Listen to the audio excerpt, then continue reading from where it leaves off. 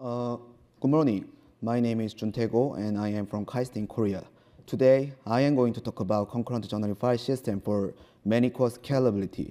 This work is the result of a collaboration between KAIST and Virginia Tech. Let me briefly outline the structure of my presentation. First, I will provide some background and motivation of our work. Then I will introduce our design and outline its key features. After that, I will present the results of our evaluation. Finally, I will wrap up with some concluding remarks. Uh, background and motivation. Hardware is rapidly evolving. We examined the CPUs and storages released between 2006 and the present. In 2006, a CPU has two cores and a storage has a throughput of 877 IOPS. Now, one of the recent CPUs has 128 cores, and one of the recent SSD has 700 KIOPS. In the past 17 years, the number of core has increased 64 times, and the throughput of storage has increased 798 times. How about software? Software stack on a, on a cloud server is deployed like right side of this slide. With many core CPU, there are thousands of containers or virtual machines to serve user services. Under the virtual machine, operating system is working. Operating system has its own mechanisms and data structures for its consistency or availability. However, they sometimes become a bottleneck. Uh, they sometimes become a bottleneck. Among them, we focused on file system journaling. Let me briefly explain how does EXT4 journaling work. If a transaction commit is called, running transaction is locked first.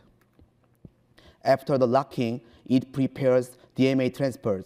It means the write command for the transaction is allocated and dispatched to the storage. And then it waits for the completion of the DMA transfer of dispatched command. Finally, it calls for the uh, it calls flushy for the durability of the transaction. All these steps are serial, serialized to guarantee the consistency and the right order. Here, an additional transaction commit is called during the commit of TX1. In EXT4, to guarantee the right order between transactions, the start of the commit is delayed until the end of TX1's commit. So all transaction commits are serialized in EXT4. Many researchers noticed the serial journal commit and proposed various types of concurrent transaction commit. IceFS, SpanFS, and JetJournal designed multiple journal region. However, every transaction commit is uh, every transaction commit is still serialized in each journal region. ScaleFS and MQFS proposed the per running transaction. However, conflicts can occur between multiple running transactions and it still have a serial journal commit problem in each running transaction. BarrierFS designed a parallel journal commit by using their order preserving block device. They separated the journal commit into two works and pipelined these two works. However, the evaluation results show that it cannot scale well we found that there are two main regions, transaction conflict and transaction lockup. Let me explain about transaction conflict first. Transaction conflict is a situation that a file operation modifies a page which is being committed. Here, JBD thread started to commit the TX1 and user thread called create system call. TX1 has four pages and is being committed. The create system call is going to modify the diamond page. Diamond page is being committed in TS1, so transaction conflict occurs. At this situation, EST4 blocks the create system call until the commit is finished. After the commit, the create system call is unblocked and the diamond page is inserted to the new running transaction, TX2. Because of the transaction conflict, metadata operations can be blocked and the file system performance can be degraded.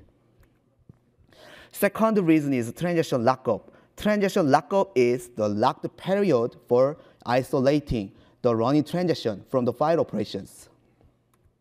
Here, running transaction is TX1 and three file operations are called. While three file operations are running, the transaction commit is called. The TX1 is locked and waits for returns of all file operations, which is called before the commit. During the locked time, new file operation, OP4, is called. It is blocked because the running transaction is in locked state until the return of all file operations that TS1 is waiting for. When the last file operation, OP3, returns, TS1 is unlocked and becomes a committing transaction, and a new running transaction TS2 is created. The file operation, OP4, which, is, which was blocked by locked state of TS1, is coalesced to the new running transaction TX2. Because of this locked state, less file operations are coalesced to the transaction and the file system performance is degraded. To solve these two problems and achieve scalable concurrent transaction commit, we propose new journaling file system, concurrent journaling file system. We named it CJFS. CJFS's purpose is pipelining multiple transaction commits so that multiple transactions are committed concurrently. For the concurrent transaction commit, CJFS adopts four techniques. Dual-thread journaling, multi-version shadow paging, opportunistic coalescing, and compound flush. First technique is dual-thread journaling. As I mentioned before, every journal commit is serialized in EXT4. For the concurrent journal commit, we separated the journal commit into two. Host side work, uh, including lockup and preparing DMA, and storage side work, including the DMA transfer and flush. And we pipelined these two works like below we guarantee the right order, which was guaranteed by the serial commit by using order preserving block device. So with dual thread journaling, we can commit multiple transactions concurrently. Even though transaction commit is separated into two and they are pipelined, it still has a problem. Transactions should be isolated. If transactions are conflicted with each other, they cannot be committed concurrently. Here, TS1 is being committed, and TS2 commit is called. TS1 and TS2 have the same page, the square page. So commits of TS1 and TS2 are serialized because of the transaction conflict between TS1 and TS2. After the TS1's commit, the square page is inserted to the TS2 and TS2's commit is started. Likewise, TS2 and TS3 have the same page, the triangle page. So they are serialized and the triangle page is inserted to the TS3 after the commit of TS2. We introduced multi-version shadow paging to solve this complete problem. In multi-version shadow paging, every commit creates shadow versions for the transaction to commit, and only shadow pages are committed to the storage. Here, there are four pages and TS1 commit is started. TS1 creates shadow versions of original pages and commit them. TS2 creates shadow versions of original, pa original pages and commit them too. Note that the scale page in TS1 and the scale page in TS2 are different versions of the same page. Finally, TS3 also creates its shadow pages and commit them. Because every transaction has their own version, every transaction can be committed concurrently without conflict. Moreover, original page cache entries are free to be modified.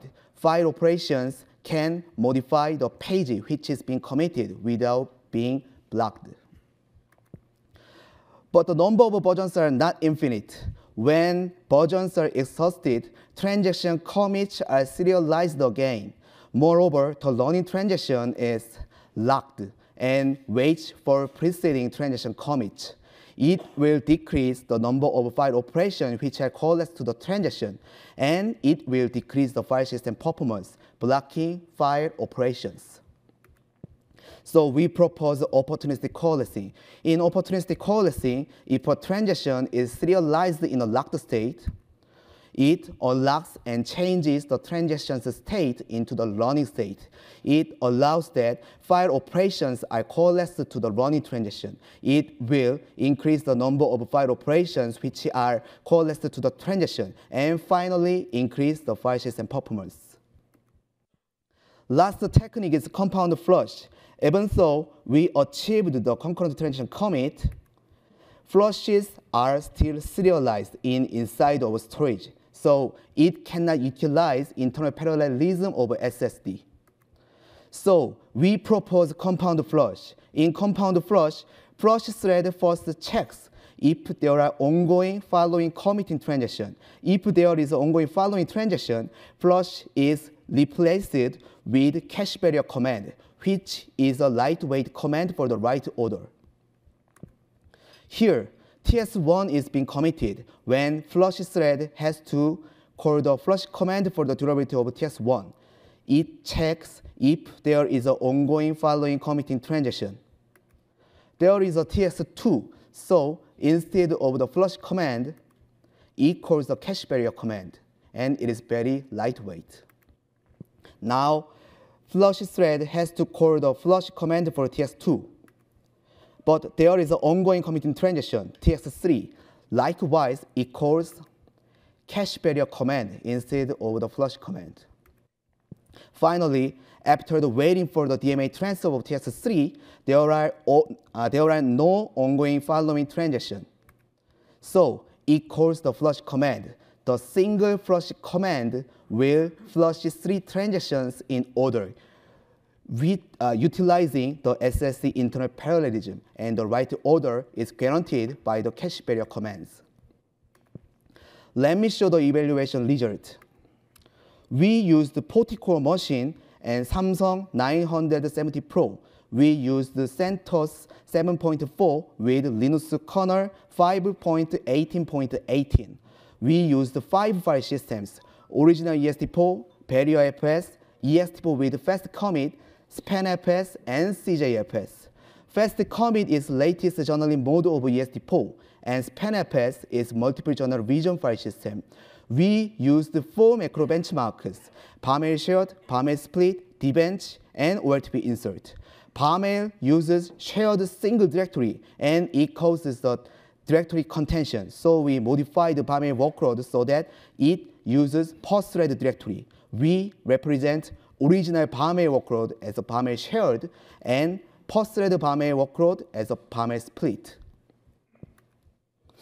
In all benchmarks, CJFS performs highest throughput. In Varmail shared, CJFS performs 1.6 times throughput compared to original EXT4. SpanFS and fast commit sacrifice the coalescing degree and gain parallelism. However, because of their low coalescing degree, they cannot scale well in all benchmarks. dbench and OLTP insert call less, fsync than Varmail workload, so performance gain is a little small in these benchmarks. Our proposal is the concurrent transaction commit. Real-time command queue depth shows how many concurrent transactions are being committed at the time. In EXT4, maximum command queue depth is 1. In Barrier FS, maximum command queue depth is 2, thanks to the order-preserving block device. In CJFS, multiple transactions can be committed at once, so maximum command queue depth is 9 in CJFS. This is the conclusion of my presentation. We propose CJFS concurrent file system. CJFS achieves concurrent transaction commit with four techniques, dual thread journaling, multi-version shadow paging, opport sorry, opportunistic coalescing, and compound flush.